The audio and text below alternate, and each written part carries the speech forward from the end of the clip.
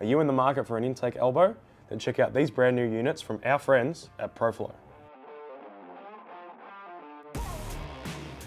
The elbows are a direct fit onto any 4150 manifold and can take two types of throttle bodies. The first is any typical LS throttle body. The second is this generic Proflow 90mm one here, designed to suit cable.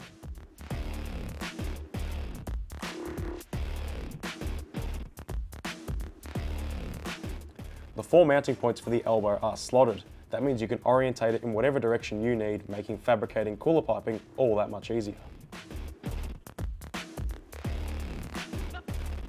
Taking a look inside the elbow, you'll notice this internal vane.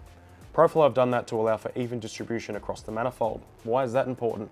It means much better air-fuel mixture, which means less danger to manifold. The actual opening itself for the throttle body is 95 mils. Now you might think that's a bit small. The reason they've done that over say 105 millimeters is based on Proflow's testing that's more optimal for the airflow. It gives you better volumetric efficiency, which means more power. In terms of external features, there are three boost reference ports here which you can use for exactly that and it does come with the bungs in the kit if you want to block them off. There's also provisions here for the throttle mounting cable which also comes with the kit and you'll also get a gasket and an O-ring to go here. In terms of finishes, there are two to choose from. You can either get the black powder coat here or the raw metal finish. So to place your order, simply head to proflow.com.au.